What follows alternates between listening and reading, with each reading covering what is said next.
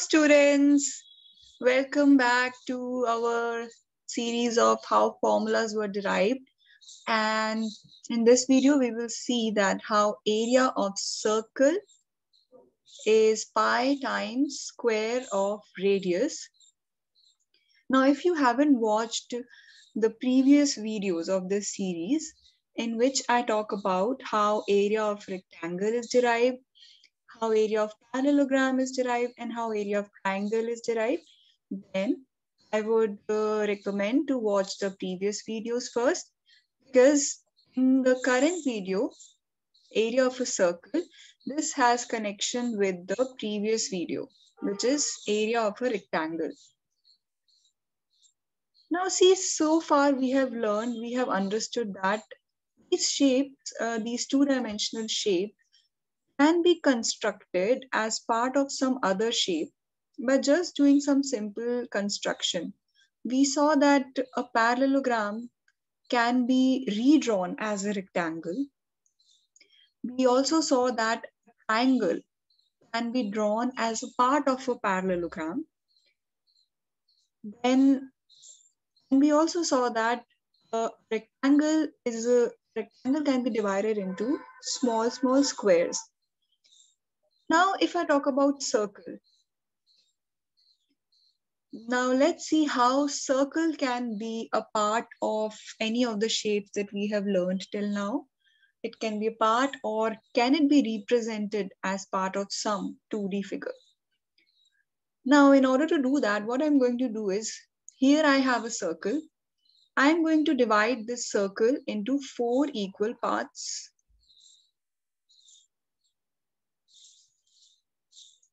So let's suppose that these four uh, parts are equal parts. And what I'm going to do is I'm going to pick up these parts and I'm going to place them like this. Let's say this is first part. So let's say this is the first part and I have placed it over here.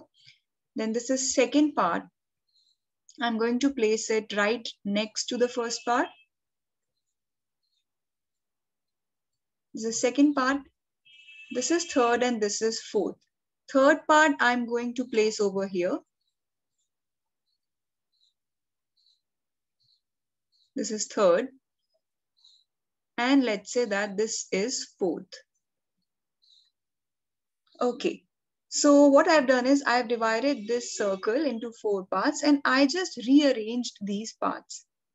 Now, I'm again going to divide this circle now this time into eight parts. So now let's assume that I have uh, divided this circle into eight equal parts. Okay. So this is first part, second part, third part, fourth part. These are four parts, then five, six, seven, eight. Now I have eight equal parts. Now again, I pick up these parts and I again rearrange them. So now if you observe that now these parts have become narrower, right? So let's arrange them. So this is, let's say, first part, second, third, and fourth. So these are the first, second, third, fourth part. Now I will similarly, I will place the fifth, sixth, and seventh part like this.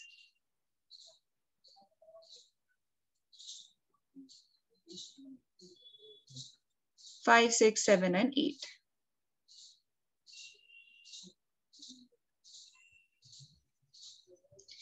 Now, if you observe that over here, this curve part of the circle, this curve part will, uh, this curve part will uh, slowly and gradually, it will be a straight line. Now, if I suppose I keep dividing this circle now into infinite parts. Now I again divide it and I divide it, I keep dividing it. I will keep dividing this circle now till the point this curve part will almost be equal to a straight line. This curve part will no longer look like a curve. It will look like a straight line. Then if I will take up all the pieces and then again if I will arrange them, then you can imagine that how narrow all these parts will look like. They will keep on becoming narrower and narrower and these curve parts will keep on becoming a straight line.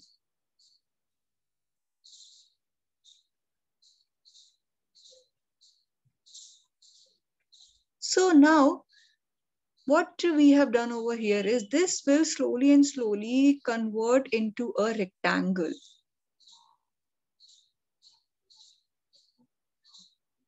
If you will uh, divide this circle equally into infinite parts and you will take up all the parts and arrange all the parts like this, one by one, you will observe that this will be almost a rectangle.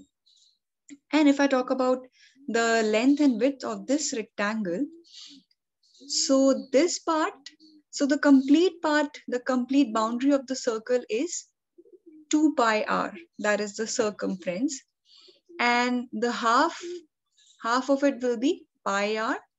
So this complete length from here to here, this is pi r. So, and that is nothing but this length and this length as well is pi r and that is nothing but this length. So this means that length of the rectangle is pi r. What about width? Width is this length and this length is nothing but the radius of the circle. Okay. So, and we learned in the previous video that area of a rectangle is length times width. So if I consider this rectangle, so and if I find out area of this rectangle, then that will be again nothing but length times width. What is the length of this rectangle? Pi r. What is the width of this rectangle? r. So that's how we get pi r square. So this is the derivation for area of a circle. And but now the question comes that how the circumference of a circle is 2 pi r. I use this formula here that this complete boundary, which is also called circumference, is 2 pi r. And so that is why half of it will be pi r. But how the circumference of a circle is 2 pi r. So this we will learn in the next part of the series. And till then, take care and I hope you like this video. So bye-bye. Thank you.